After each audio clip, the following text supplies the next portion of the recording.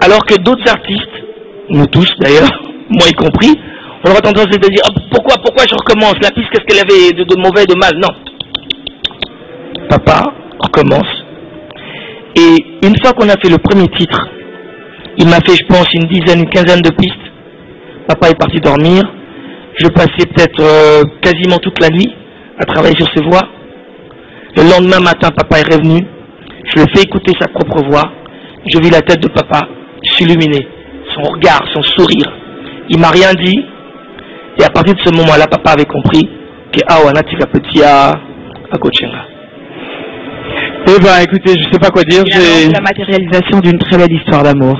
Mais, mais dans ce que Pascal Lokokanza raconte, et je sais que nous avons un épisode commun parce qu'il y a une chanson qui a été produite, qui est encore euh, dans une boîte qui va sortir bientôt. C'est une chanson sur le Congo, le, dont le titre est en anglais, c'est Let's Congo Rise, où Pascal Lokokanza et Wemba ont chanté, et ça on aura l'occasion de découvrir.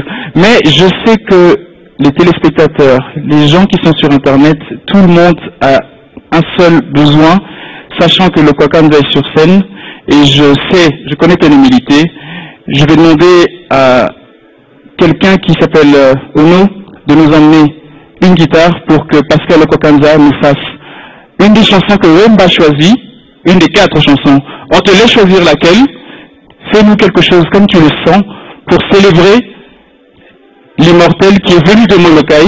Je pense que euh, si on avait un truc en commun, papa et moi, je pense c'est la voix, il adorait faire des acapellas.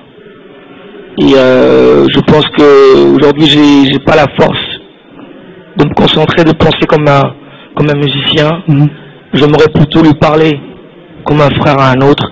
Même si c'est un petit bout que je veux faire, mais je le ferai qu'avec la voix. soki lelo yokeye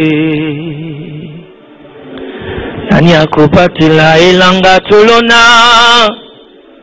awa yo papa yo gaze. Nani akobatela fololo ya bolingo. Nani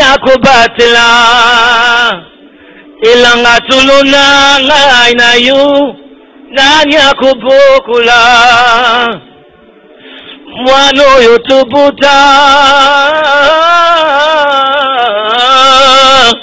papepa yo yokeye kolo asunga yo Ça mérite des applaudissements.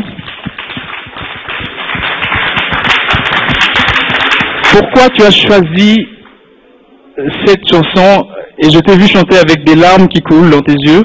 Pourquoi tu as choisi particulièrement cette chanson, Pascal Loco Parce que ça fait partie de chansons dont j'étais pas sûr que papa allait le prendre.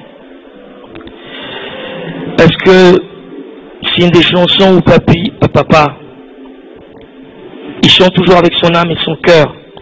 Mais il avait toujours un truc particulier quand il chantait cette chanson. Je l'ai observé plusieurs fois, dans plusieurs endroits. Des fois, il faisait avec une guitare, des fois avec un piano. Et euh, c'est la chanson où moi, je pense, le souvenir d'avoir accompagné Papa Wemba. On était en Côte d'Ivoire. On avait un concert.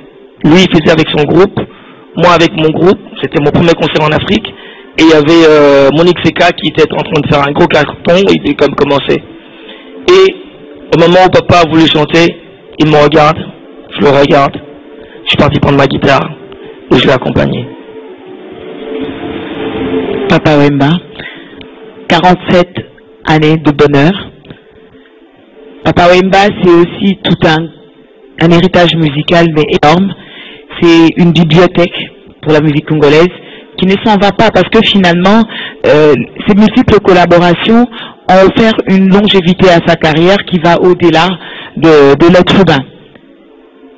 Et quelle est la partie de l'héritage de papa que Lokwa garde pour lui aujourd'hui J'aimerais parler juste, si vous me permettez, faire une sorte de parenthèse technique. Parce que quand on est euh, auditeur, auditrice, on écoute un artiste. Mais on n'imagine pas tout ce qu'il y a derrière. Quand on écoute une belle voix, on dit, elle est belle. Mais ça s'arrête là. Mais moi, je pense que j'aimerais juste parler un peu de la voix de papa. Papa avait déjà une voix, un timbre particulier. Il n'y a pas deux personnes au monde. Tu sais, il y a des voix, il y a des fois des gens qui ont des voix qui se ressemblent plus ou moins, même si on a toujours des, des ADN un peu différents. Mais papa était complètement, complètement à l'opposé de tout ce qu'on pouvait attendre d'une voix humaine. En dehors de ça, papa avait une capacité technique qui était incroyable. Ça, beaucoup de gens ne le soupçonnent pas, ne le voient pas. Moi, en tant que chanteur, en tant que quelqu'un qui, adore la technique, qui, adore cet aspect musical, si papa a fait cette carrière, c'est pas que mes chansons ou nos arrangements, il y a la voix de papa. Papa a un truc très particulier qui, techniquement, on n'en aperçoit pas, mais on le ressent dans son, âme. Quand tu reçois la voix de papa, que tu sois blanc, noir, jaune, tout ce que tu veux, il y a un truc qui te perce. Et quelle est la chanson de papa qui perce ton âme et qui l'a toujours percé Waouh, il y, en a, y en a plusieurs. Parce que papa, tu sais, il peut, en un quart de tour, dans une chanson qui paraît banale, comme ça, qui passe, et tout d'un coup, tchac, il t'amène ce pic, ce sort de sabre, que lui seul savait comment le mettre. Mhm. Donc, il n'y a pas de chanson, c'est juste un ensemble de sa voix qui est tellement touchante. Grand Loco Pascal, avant de te laisser partir, j'ai une dernière question. Dis-moi si je me trompe. Est-ce que le fait d'être un homme, que tout le monde disait respectueux, affable, humble, est-ce qu'il a emmené de ce qu'il était dans sa musique? Parce que, de mémoire, je ne sais pas s'il y a beaucoup de chansons de Papa Wemba où on peut danser sur des obscénités. Et je pense que c'était peut-être une partie de lui, de ce qu'il était, de son éducation, qu'il a emmené dans la musique. Est-ce que tu confirmes? Est-ce que tu infirmes? Est-ce que tu as un avis là-dessus? Je confirme. Je pense que papa était euh, cet homme qui avait beaucoup de classe, qui avait cette euh, grandeur d'âme quand il chantait. Je connais pas dans l'intimité profonde sa vie avec ses, enfants. J'ai eu le témoignage de sa fille qui disait que c'est un homme, un papa aimant, gâteau presque. Et euh, papa avait ce truc-là où il n'y avait pas d'obscénité. Papa, c'était pas son but. Papa est monté sur scène, je l'ai toujours vu, observer. Il tient à ce que le public ait du plaisir. C'est pas toujours évident. Je veux dire, quand un, un chanteur classique ou un jazzman monte sur scène, il n'a pas forcément envie que les gens se déploient, il a envie que les gens écoutent. Mais papa avait ce truc où lui, il va d'abord vers le public.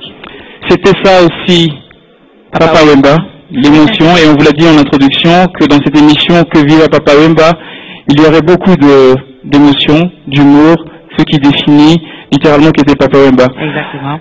Je euh, pense, mais là, que peut-être encore un dernier invité. Oui. Mais avant, le dernier invité, Pascal Lokwakanza, le mot d'amour à papa, ce mot pour célébrer l'artiste, le vôtre serré.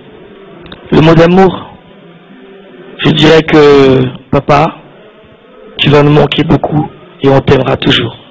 Merci Pascal. Merci Pascal Lokwakanza. là, j'ai l'impression que là, on commence à prendre euh, un bon élan parce que je crois qu'avec tout ce qu'on a déjà entendu comme anecdote, comme histoire, on est en train de découvrir une parcelle de la personnalité de ce qu'était Papa Wemba l'humain. Maintenant, je voudrais peut-être avec notre euh, prochain invité que nous puissions euh, aller dans les détails parce que c'est quelqu'un qui tournait autour de lui tous les jours. Et cette personne a assisté à son dernier shooting photo avec les jeunes Rudy Aoné. Et on reviendra toujours dans cette émission sur le fait que papa veuille euh, explorer d'autres univers, rencontrer des gens, partager d'autres expériences. C'était un éternel étudiant. Finalement, papa, c'est, il a toujours été un enfant. Et dans sa jeunesse, d'après 25 ans, il a croisé la route de Sonny Kamana, avec qui ils étaient amis au départ et ensuite euh, de l'amitié est née une collaboration jusqu'au jour où il s'est offert l'immortalité en direct. Sonny, bonsoir, merci d'être venu, merci d'avoir répondu présent à notre invitation. Sonny, nous voudrions que tu nous racontes ce que tu as connu de l'homme Papa Wemba que tu as fréquenté jusqu'encore à son dernier shooting photo. Papa Wemba était un grand. Moi, je l'appelais Grand Mayas. Grand Mayas. Grand Mayas. Ce qui veut dire ce qui veut dire euh, grand prêtre, qui veut dire euh, Noko. Vous verrez qu'il a, il a fait un truc tatouage où c'est écrit Grand Mayas. Grand Mayas, quand je l'appelle comme ça, lui répond, il répond Kamana. Papa Wimba était un grand. Je